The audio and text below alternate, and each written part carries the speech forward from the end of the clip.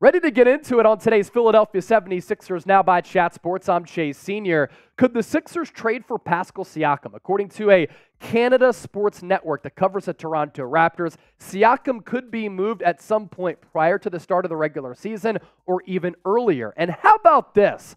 Glenn Rivers helped bring Patrick Beverley to Philadelphia even though Glenn got fired by the Sixers. Does it sound weird that I said Glenn Rivers? New rule here on the show. I cannot say Doc Rivers any longer, and I won't. Why? He's a playoff choke artist. And there's only one Doc in the history of the Sixers organization that I want to remember, and that's Dr. J. Julius Erving.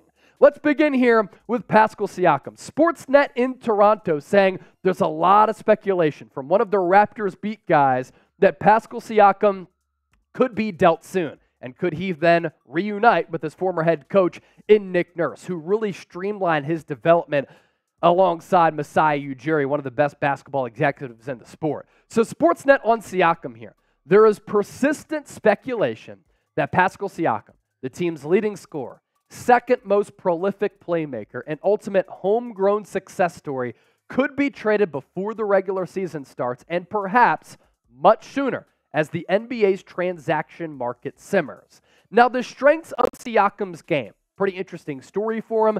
Masai Ujiri went to Cameroon, discovered him. Then he went to New Mexico State and ends up putting up some really good numbers there. And then Masai Ujiri is like, this guy can really play. They take a chance on him, and what a developmental story he's been. Him and Joel Embiid, by the way, both from Cameroon, representing that country. And the strengths of Siakam switchable and pesky defender. The Sixers know firsthand in some of those playoff matchups against Toronto that when Pascal Siakam defends them, he is so long and switchable and athletic that he's really difficult to get by. That long athleticism, I think, helps him be a pest against some of the top wings in the NBA, but he can guard some guards, but he can also hold his weight against some other bigs as well. That familiarity with Nick Nurse, I think, is important here if the Sixers were to show some interest, just because Nick Nurse is familiar with them, knows how to use them on both ends of the floor. It's kind of a chess piece on defense and on offense. Impressive developmental story. What this tells me, he has a level of dedication to the game of basketball where he started off as such a raw prospect. And look at him in college. Look at him during his upbringing. Like he looked like a baby gazelle trying to play the game of basketball. And then over time, He's been able to stay in the lab, improve upon his craft. He's basically the antithesis to Ben Simmons, who was content with being good, never wanted to tap into his greatness. He had greatness potential, but he was like, you know what? I got the bag, made an all NBA team, all NBA defense. I'm cool with that. Siakam, on the other hand, is like, I want to get better. And how about the growth that we've seen here? From the start of his NBA career up until this. And then these numbers, obviously, his last four years. And last year, year before that, year before that, the three point numbers have suffered a little bit. But in 2019 2020, almost 36% from three, 23 points per game, seven rebounds, 45% from the field. Is there any way that Pascal Siakam can get back to that level of offensive production? Because he's going to be able to score the rock. More than 20 points per game in each of the last four seasons. Pretty solid rebounder just because he's so active and even though he struggled to find Twine from distance, his field goal percentage overall has been pretty good 45.3, 45.5, 49.4, and 48% over the last four years. I think that this is a pretty intriguing trade target here for Philadelphia. Now, there was some chatter about him telling the Toronto Raptors that if they were to trade him, he would not sign a contract extension with the acquiring team because he wants to stay with the organization that identified him, took a chance on him, and helped develop him throughout his career. But could teaming back up with Nick Nurse maybe change that to a certain degree? And could you trade an expiring contract for Tobias Harris for an expiring contract of Pascal Siakam? Now, if a move does happen, you know we're going to cover it here on Philadelphia 76ers. Now, our coverage, really since the Sixers got bounced in the playoffs by the Boston Celtics, I believe has been fantastic. You see the link down below, even easier, just hit that subscribe button. And if you had to pick one for the iteration of the Sixers 2023 2024 team, which player would you rather have here? Is it Toby or is it Pascal Siakam? You let me know.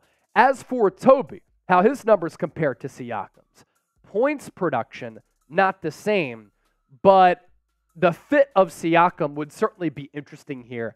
I think you could get away with playing him at the four. PJ Tucker would be relegated, I guess, to a bench role.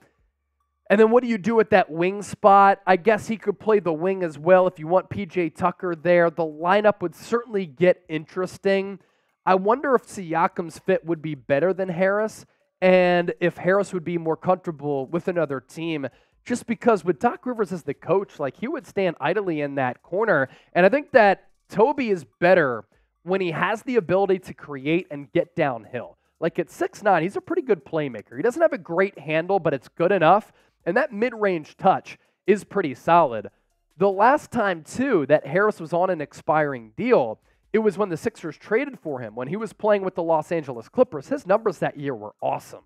And that's probably why Elton Brand at the time had made that trade. He was averaging more than 20 points per game, 50% from the field, and like 43, 44% from three point range. Can him being on an expiring deal spark this level of him being an assassin? Can Nick Nurse maximize Toby as a player? What Jaden Springer said the other day about his first practice with Nick Nurse, he said, Look, Nurse was pointing out all these tendencies and telling us all of these intricacies to the game, all this fundamental stuff that I haven't heard of since I entered the NBA. That is kind of an indirect shot, not intentional, at Glenn Rivers. So I'm hoping that Nick Nurse, who's a better coach than Glenn Rivers, will be able to help some of these players develop. It's tough to say Glenn Rivers and not Doc.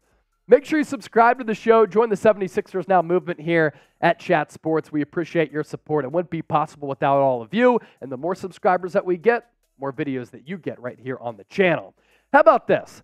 Glenn Rivers helped recruit Patrick Beverley to Philadelphia even after he got canned by Daryl Morey. Pat Bev said on his podcast that partners with Barstool Sports with Rone that choke artist Glenn Rivers convinced him to come to Philadelphia. And Beverley said this was the quote verbatim from Rivers. I love Philadelphia, Glenn had said. The Sixers need you. You will be great with Joel Embiid as well as James Harden. If I had you last year, we would have been a different team. Would they have been a different team? They could have used some defensive tenacity coming in off the bench. Him playing alongside PJ Tucker, I think is going to be hilarious just because of the antics that both of them bring to the floor. The NBA is going to outlaw the flopping rule, so that does affect Beverley and PJ Tucker a little bit. Beverley will be a great value signing if he can get back to the three point numbers from 2020 2021, because the last two years there's been a little bit of a dip with his stroke. 33.5% this past season, 34 before that. But the two previous years, almost 39% in 2019 20, and then 2020 2021, almost 40%. And this is a guy who you know is going to pick up cats from 94 feet. He's going to get in your face. He's so Philadelphia that it hurts. Bulldog all the way, just like PJ Tucker. But in order for him to be playable, he has to be able to knock down some of those three point shots. I caught Coop off guard. He might have sprinkled down his leg with that dog rough right there. Do you like the Beverley signing? Give me a Y for yes or an N for no. And I see some people laughing that we're calling Doc Rivers Glenn Rivers here on the show. It's just my new rule here on 76ers. Now, we good on time? Cool. Subscribe to the show. Get those comments in. We appreciate it. We want to hear from all of you.